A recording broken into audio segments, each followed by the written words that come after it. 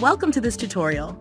Today, I'll guide you through installing, activating, and using the TMDS Chrome extension to streamline your workflow.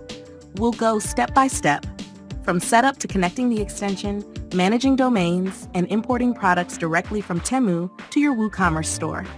First, install the TMDS plugin by adding and activating it from your WordPress dashboard. Once activated, we'll move on to setting up the Chrome extension.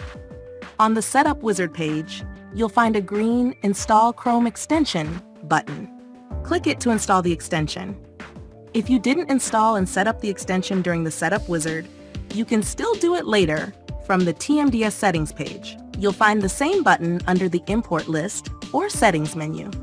Once the extension is installed, the next step is to connect your domains. Click Connect Extension and confirm to link the extension with your plugin for the current domain. Alternatively, you can manually add your domain inside the extension and authorize it from there. Plus, you can import products to multiple domains at once. Simply check the Enable box next to any domain you want to activate. You can add as many domains as needed or remove any you no longer want connected. It's completely flexible.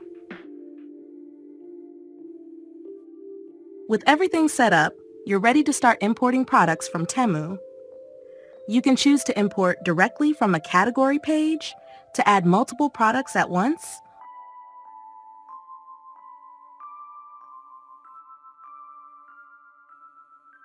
or from a single product page for more specific selections. This allows you to seamlessly pull product details into your WooCommerce store. And that's it. You're all set to import products seamlessly across your connected domains using the Teens extension we hope this tutorial makes things easier for you. Thanks for watching.